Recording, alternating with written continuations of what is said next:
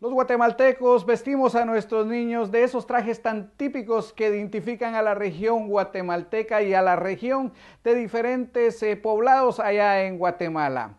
Bueno, y por otra parte, nos vamos en este momento a El Salvador. Nos vamos con María José a conocer de la mejor playa y también del muelle del puerto de Acajutla, donde hay un niño que pesca y no agarra pescados.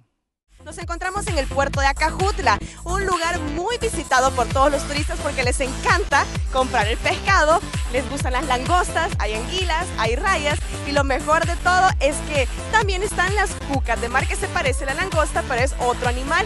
Así que vamos a entrevistar a la gente que nos cuente qué consiste, cómo lo venden y luego pues cómo lo procesan y todo y cómo cuando vienen de la pesca. Así que chicos, si me acompañan, estamos en el puerto de Acajutla. Encontramos con Oscar, que aquí es un máster, el pescador oficial y se puede todo. A ver, cuénteme, ¿este animal cuál es? Eh, es la cuca marina. ¿Y esta cómo la pescan? Eh, con redes. Siempre con red. Solo con redes. A ver, ¿y a qué hora salen de pesca normalmente? ¿Qué es lo que sacan? Eh, salen a las 5 de la tarde y retornan 6 de la mañana y pescando cucas, langostas, camarones, eh, quinoa, rojo y muchas especies más. Pues. Aquí en el puerto de Cajutla los preparan y los limpian. Ah, correcto, aquí en Acajutla se le, se le venden al turismo, se le escaman, se le saca todo, limpio solo para que lo lleve a cocinar. ¿Qué vale el pescado? ¿Qué vale la cuca, la langosta? Eh, generalmente la cuca vale 3 dólares la libra, la langosta vale 6, el pargo vale 2.50, eh, la langosta vale también 6 y así. ¿Algún consejo para los turistas? Porque estamos en David en Viajeros. ¿Algo que quiera recomendarles del Salvador? Eh, que se acerquen al puerto de Acajutla, no solo al puerto de la Libertad, pues Acajutla también tiene sus lanchas para ir a turistear, turistas que quieran venir, eh, aquí encuentran pescado, hay donde les hagan, preparen comida y pues que los invitamos, que los visiten a nosotros también. Y aquí en el puerto de Acajutla hasta los chiquitos les encanta pescar. Vamos a entrevistarlos. Y aquí veo a los niños bien entusiasmados haciendo ya... A ver, ¿qué estás...? Vamos a primero preguntarle el nombre. ¿Cuál es tu nombre? Carlitos, A ver, Carlitos, contame, ¿qué estás haciendo ahorita? pescando. A ver, y esta es la carnada. No, este es puro hito que agarré. Eso, mire, desde chiquitos y agarrando. A ver, ¿y la carnada que utilizas es esa que tenés ahí? Sí, esta es quinoa. Quinoa. Ajá. ¿Y ese cómo se prepara?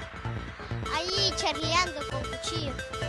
Bárbaro. ¿Algún saludo que querrás mandar a toda la gente? Ah, les quiero salir, mandar un saludo a todas las, todos los turistas que están viendo este canal. Bueno, ya ven, aquí se vive un ambiente muy familiar en el puerto de Acajutla. Las familias, papá, hijos salen a pescar y eso es lo bonito de aquí del Salvador. La invitación está hecha. Visítenos, vengan a comprar su pescadito, su camarón, su langosta, lo que quiera. Nosotros continuamos con más. Gracias María José. Bueno, y en este momento vamos a ponerle ambiente con el video en primicia de Piba de Guatemala y este tema sí tal vez, junto con sus amigos.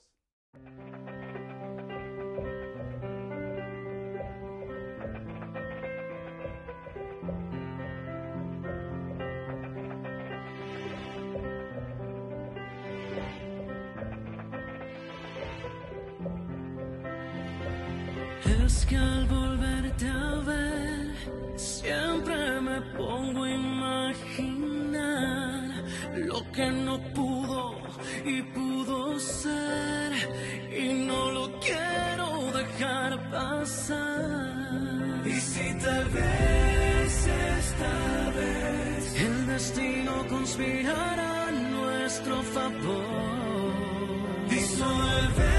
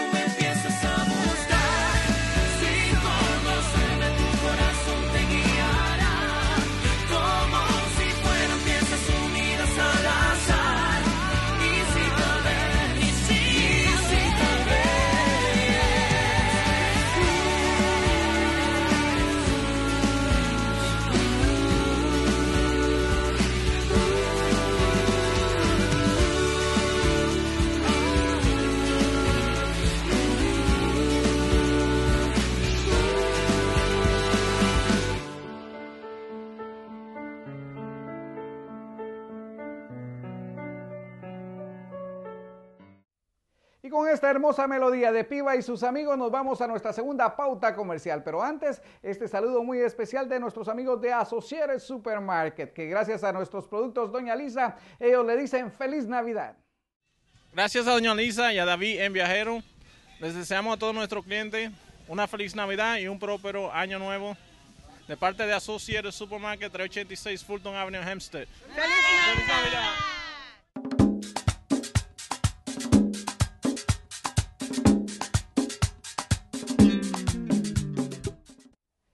Vaya que está haciendo frito esta mañana. Bueno, y a continuación les quiero presentar a tres jóvenes guatemaltecos que llevan muchas sonrisas a todos los niños en Guatemala con sus títeres o mopeds. Vamos pues con este reportaje y también a deleitarnos de nosotros de estas sonrisas de sus títeres.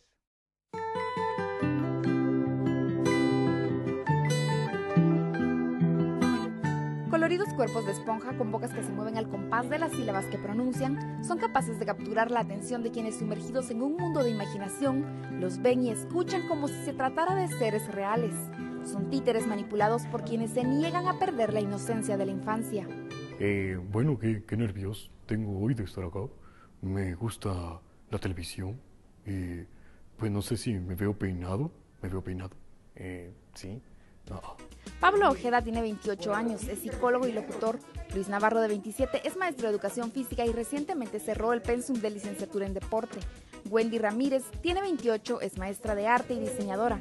Los tres tienen algo en común, nacieron para ser titiriteros. Desde los 5 años me han gustado los títeres y siempre que buscaba un programa en la televisión, eh, mi pasión era ver los títeres, ¿verdad? Pero como habían pocos, entonces los pocos que salían era para mí lo, lo mejor. Aún sigo viendo caricaturas, muchas películas animadas, entonces eh, cada vez que hay un personaje que se roba el show, por decirlo así, pues siempre me llama la atención, me, me llena de ilusión y creo que es una buena forma también de llegar a tanto niños como adultos. Luis y Pablo prefieren darle vida a los pequeños seres, mientras Wendy es su creadora. Los tres se conocieron en 2012 cuando la Fundación Española Muñecos por el Desarrollo les otorgó una beca en República Dominicana como representantes de nuestro país. La sinergia fue inmediata. Después de lo de la propuesta de la beca, me fascinó completamente porque es tan versátil de crear algo de la nada, materiales tan sencillos. El proceso creativo de un títere puede durar desde semanas hasta meses. Antes de crear un personaje, tenemos que darle unos perfiles, eh, carácter, eh, de dónde viene, a dónde va, un porqué, y luego empezamos con el físico, boceto, ¿verdad? Trabajamos bocetos, ya donde tenemos un boceto definido, pasamos ya a un patronaje, cómo diseñarla, cómo hacer las piezas, y luego ya los empezamos a construir por piezas. Luego escogimos los colores, cómo vamos a aplicar colores y ver la combinación hasta que tenemos el muñeco terminado. Mi mamá es eh, costurera y modista profesional, entonces de ahí empecé yo a, a construir. Plantas, insectos, personas o seres producto de la imaginación, cualquiera puede ser creado. El tamaño puede variar, incluso ser del tamaño de una persona, como este burro que será parte de una obra de teatro. Cada característica depende del público objetivo. Tino, por ejemplo, es un rinoceronte adulto dedicado a enseñar temas ambientales a niños. Hola niños, yo me llamo Tino, pero todos me dicen Rino, Rino, Rino. Y lo único que te pido es que cuides el ambiente. El oficio de titiritero requiere además de talento innato y vocación, entrenamiento físico, técnicas de actuación, dominio y manipulación del muñeco. La recompensa es el cariño del público. Una de las, de las actividades que realizamos en, en, en la beca de República Dominicana fue construir un títere. Yo tenía muchas ganas de hacer un monstruo y pues se me dio la oportunidad, entonces traje mi monstruo y cuando regresé, pues la gente miraba, yo me tomaba fotos con él o la gente quería tomarse fotos con él. Y pues un amigo que es realizador, pues le, le interesó hacer un cortometraje.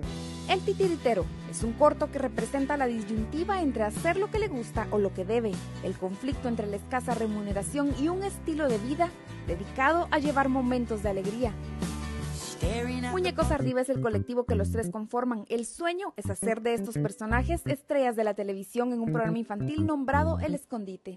Trata sobre cuatro, las cuatro etnias mayas, eh, tratando de convivir juntos y aprendiendo un poco de cada, de cada etnia.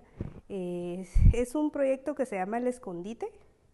Lo quisimos poner así porque todo niño, toda persona en su infancia ha jugado el escondite, es el juego más común que todos tenemos. Un titiritero de televisión eh, ve un monitor que le muestra todo al revés.